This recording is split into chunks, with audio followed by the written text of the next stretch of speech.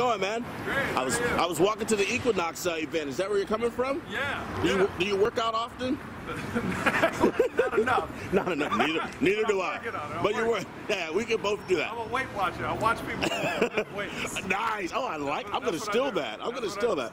I like that. I got a question for you. It's a superhero question. Okay. All right, so I want to kind of pre-prepare you. Okay. So I was talking about the superhero Superman.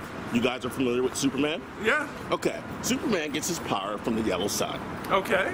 right? Do you know this? You know this? I don't know this. Okay. No, he gets, no. So he's superpowered. He can fly. Yeah. Here's what I was wondering. Uh huh. If he got an Earth woman pregnant, If he got an Earth woman pregnant. if he got an Earth woman pregnant, Okay. while pregnant, if the baby kicked, would it burst through her stomach?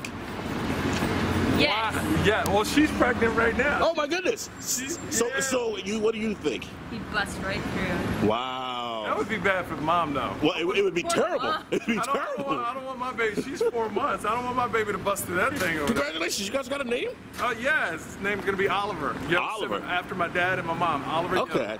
Yeah. Oliver Yo, and the baby would burst through the stomach. That would be disgusting. It would be terrible. It would be terrible. Those super babies over here. All right, thank you, man.